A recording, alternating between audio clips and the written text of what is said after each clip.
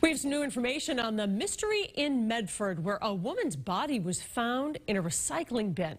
And the DA said police had been at that home before. WBZ's Katrina Kincade find out, found out why.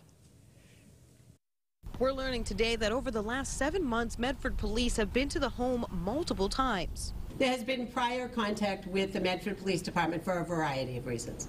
Police were back at the home this morning where 61-year-old Barbara Novaes was found dead in her recycling bin yesterday. I moved to this area specifically because it's, it's very safe. Um, so it is kind of it's you know shocking. According to the Medford Police dispatch logs, police were called to the home twice in November 2021 for a suicidal threat. Then on February 3rd, 2022, for a call of ID fraud. And before this recent incident, they came to the home on April 21st for a disturbance call. Medford PD is hoping security video in the neighborhood might lead to some answers. If you have video in the neighborhood, uh, any information that you might want to share with us, we're wide open. Barbara's son reported her missing yesterday after he woke up Monday and found their home's door open and her car still with her keys, phone, and purse inside. He told police he last thought she was on her way to get her nails done Sunday afternoon.